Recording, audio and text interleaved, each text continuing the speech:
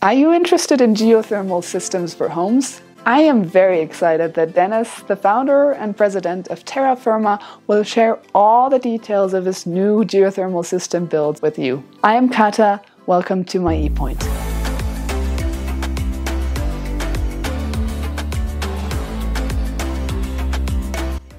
In Monument, Colorado at about 7,400 feet of elevation on a three acre parcel. Was all treed. We had some of the trees taken out. There will be a single level home built. So there's no upstairs, no downstairs, no basement, no crawl space, all one level. You said you're still working on the geothermal, like the design yes. of it? Yes. So we can show you where it is now, where it's going to get put in, how it's going to be set up with the heat and the cooling. We're going to do geothermal for the cooling. And with the solar, you can kind of see right now we're early morning or mid morning. And at this time of day, you can see the, the way the house is going to be lit up. So solar, we should have pretty good solar throughout the day, even in the winter.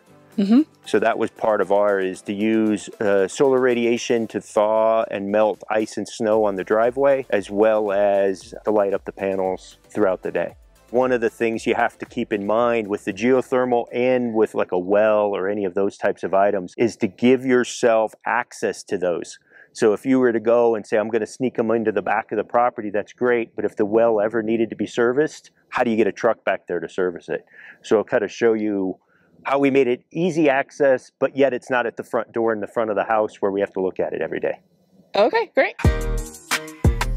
I'm going to take you to that group of pipes and then we're gonna walk out and I'll show you where the well and everything goes in the back. And then we can talk about all of the in-floor radiant heat and how the cooling works and that kind of stuff. Okay. Okay?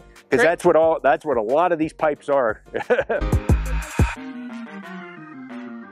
So this, as you could probably see by all of the plumbing, this is the mechanical room, yeah. if you will. So the heat exchanger will come in here. So we've got the heat exchanger and then that is for hot water. So you can see they're all in this little corner right here. Then these two big black pipes go out to the wells of the uh, geothermal. Oh, okay. So they're in, they go underneath the foundation, and then uh, I can bring you back here. So they come this way and they come out right here. The well itself, you can see that blue pipe back over through this trench over there. That's where the water well will go. And then I'm just gonna jump down quick and show you. So starting right there, you can see that orange stick. That's where the first geothermal well will go down and it's 250 feet straight down. So it's a very small hole going straight down. The nice thing about the vertical is we don't hurt the roots of the trees. If you do the horizontal back here, we'd have to take all these trees out and uh, make the big field. With this, we don't have to disturb any trees, so we can put it straight in. So there's one there, two, three, and then that, I don't know if you see the orange stake clear back there, that's the fourth one. We have the option to put in a fifth one back over here. That's only if, they call it the manual J, it's only if that comes back and says that we need more warm air or more warm water, cool water for the heat exchanger. But we think we're gonna be able to do it with four. And one of the reasons we can do it with just the four is it's a very tight house. So when the house goes in, it'll actually be the spray in foam first, so it'll seal the house. Then we'll put in the batting. So we're looking at regular batting or there's one called hemp, hemp texture, I think they're called. We're looking at that where it's actually a hemp. And the beautiful thing on the hemp, it costs a little more, but it's fire resistant. So that actually could help forest fires, etc. Trying to build the house as much as possible that if something like that were to happen, we could survive it. But with that, it gets our roof ceiling to an R60-ish and our walls to about an R30. I think it was maybe it's R52, but either way, we're pretty darn tight house compared to a typical house, which means then we need less heat, cool, that kind of thing a lot of homework. Finding a lot of people who have done it before, who have YouTube channels, watching what they did and listening to what they said were great and what didn't work so well. yeah, yeah. Uh, gladly learn from their mistakes, not mine, because that could get it very costly. Yeah, absolutely. The in-floor radiant heat with that, because now you've got the, you know, the heat exchanger. On that heat exchanger, A lot of big names. So I was excited because I thought, oh, I can do this. And then you call your local distributor and they say, oh, yeah, that's a European only 220 volt system. We don't actually sell those in the US. Interesting. So wow. I couldn't, even though they make them, I couldn't use it even if I wanted to use 220 volt uh, to make it run.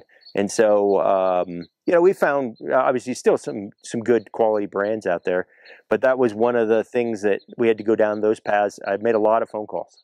and a lot of people they had no idea what I was talking about. When I'd call, uh, you know, some heating air conditioning that said they were the authorized distributor for somebody, when I'd say I need the heat exchanger for blah blah blah, first they thought I was talking for a commercial building because yeah. it's more common for commercial buildings. And then once I explained it was for my house, they said, "Well, why would you want to put a commercial heating system in your house?" and then I explained that they had this in Europe, and he said, "Yeah, I can't get the European stuff." So, yeah, it, it is what it is.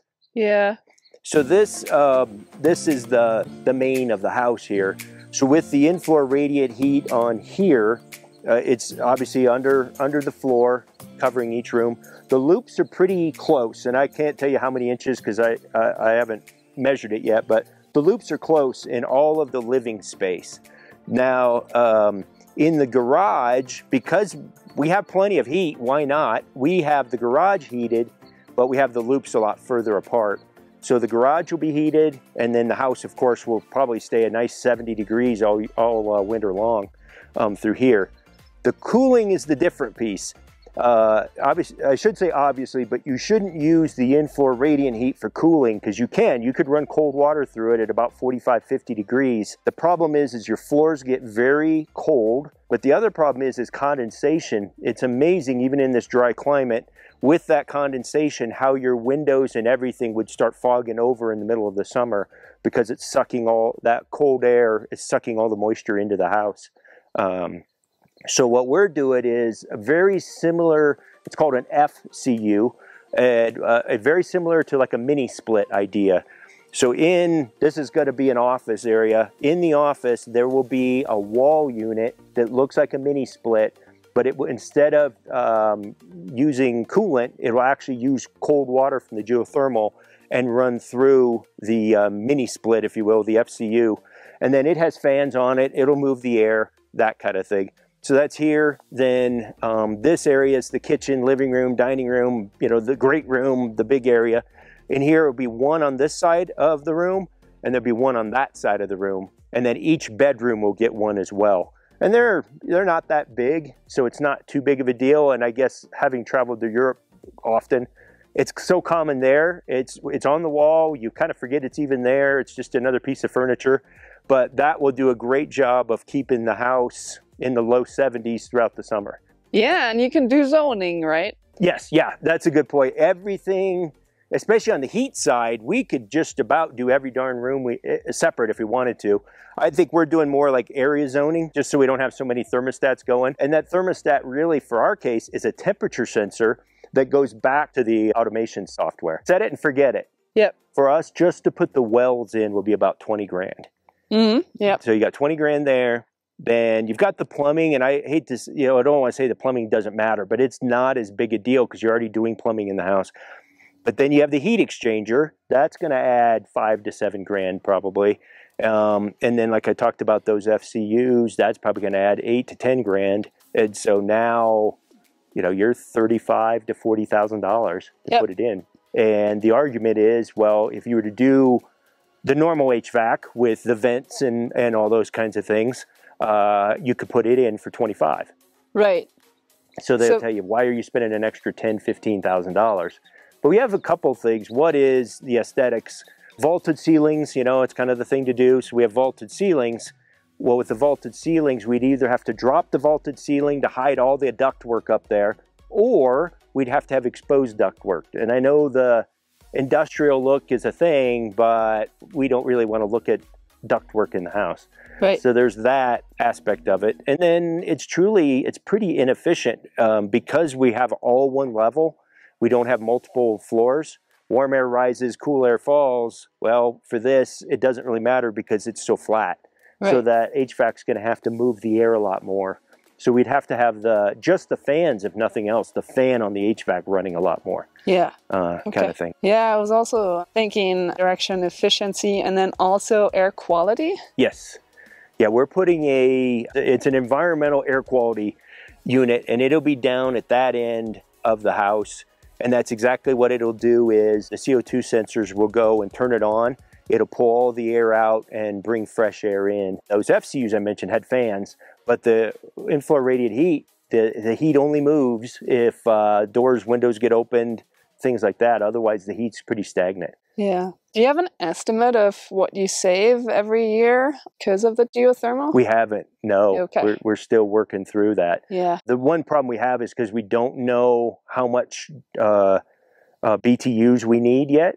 So it's hard to know compared the BTUs of, of a you know furnace of the BTUs of this and the efficiencies Right. to figure out. Um, it's almost sadly the best way to do it is to go build it and live here Right. and then calculate from that. Because But otherwise, you have to decide on the, the size of the system beforehand, Yeah. which is tricky, right? and, then, that's from the manual J that they do Yeah. based on all the and that was a problem we actually had was the manual J. They did the manual J as if we had a drafty house and we had normal inefficient heating and air conditioning and all that kind of stuff. So they did that and they said, well, you need, you know, I forget 75,000 or 84,000 BTUs to warm the house. Then when we gave that to Dan who's doing our geothermal, he looked at it one, he said, you need to sharpen your pencil because your manual J is not accurate at all. But the bigger thing was he had said was your geothermal would cost like thirty-eight thousand dollars because you'd have to put so much in to get that many BTUs. right. And that's when, you know, our heart sank and like, oh, well, the dream of this kind of went away. Well, then they redid the manual J with, like I mentioned, the R50, R60 ceilings and the tight walls and, and this, that, and the other. That 84,000 dropped clear down to like 60,000 Yeah. which automatically took looking at having to do two heat exchangers at at least five kilowatts each Yeah. to one heat exchanger at either five or six kilowatt. Yeah. Um, and and all that goes with it, the more wells, the more everything. So it brought all that price down to where the entire system's going to be under thirty-eight thousand. Right. So it just back to we have you have to do your homework and your calculations up front, um, Right. early. Well, this is amazing. Yeah. Dennis was planning his energy efficient smart home, but had a really hard time finding valuable information. Being very busy himself, he had to do a lot of homework. If you want to avoid doing that much homework yourself, stay tuned. Give us a thumbs up if you like this. Please subscribe and see you in the next one.